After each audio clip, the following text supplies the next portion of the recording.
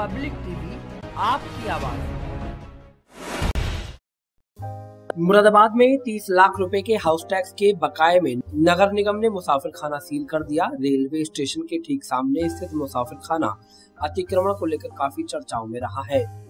राष्ट्रीय बजरंग दल के प्रदर्शन के बाद मुसाफिर खाने के अतिक्रमण को नगर निगम ने ध्वस्त कर दिया था। ताज़ा मामला नगर निगम के हाउस टैक्स बकाये का है। मुसाफिर खाने पर नगर निगम का हाउस टैक्स का करीब 30 लाख रुपए बकाया है। बार बार तकादा करने के बाद भी रकम का भुगतान नहीं करने पर नगर निगम की टीम ने गुरुवार को मुसाफिर खाने को सील कर दिया। हालाँकि मुसाफिर खाने के गेट पर स्थित दुकानों को फ़िलहाल सील नहीं किया गया है। बकाया जमा करने के लिए दो दिन की मोहलत दी गई है।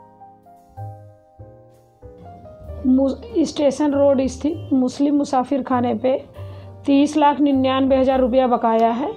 प्रमुख सचिव नगर विकास द्वारा निरंतर बड़े बकायेदारों एवं वसूली के लिए प्रत्येक माह समीक्षा बैठक की जा रही। प्रमुख सचिव एवं नगर आयुक्त महोदय के निर्देशों के अनुपालन में निर्देशों के अनुपालन में उक्त बकाया धनराशि की वसूली हेतु मुसाफिर खाने को सील किया गया। विगत वर्ष भी मैं अपर नगर आयुक्त श्री अनिल कुमार सिंह, हमारे कर निर्धारण अधिकारी, कर अधीक्षक, समस्त वसूली टीम बकाया की वसूली के लिए व्यक्तिगत संपर्क किया गया, बिल मांग नोटिस दिया गया। उसके बावजूद इनके द्वारा मात्र तीन लाख रुपया दिया गया।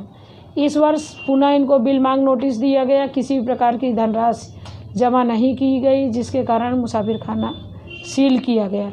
दुकानों के सीलिंग से पूर्व इनको अनाउंसमेंट कर वार्निंग दे दी गई कल दुकानें सील की जाएँगी। कितना बकाया टोटल इन पर? इन पर तीस लाख निन्यानवे हज़ार।